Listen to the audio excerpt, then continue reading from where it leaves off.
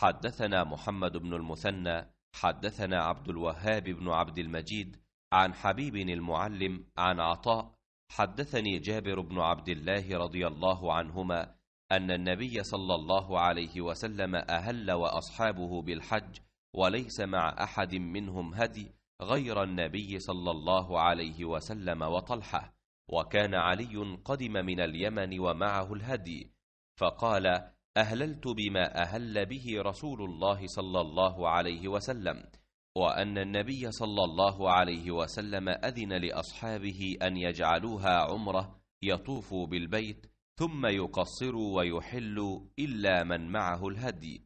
فقالوا ننطلق إلى منى وذكر أحدنا يقطر.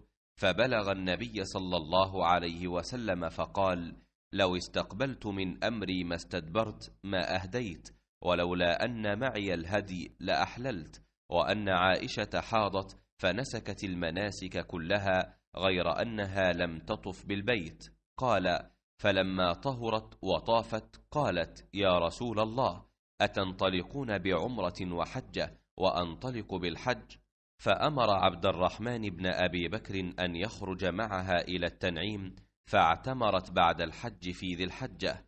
وأن سراقة بن مالك بن جعثم لقي النبي صلى الله عليه وسلم وهو بالعقبة وهو يرميها فقال ألكم هذه خاصة يا رسول الله؟ قال لا بل للأبد.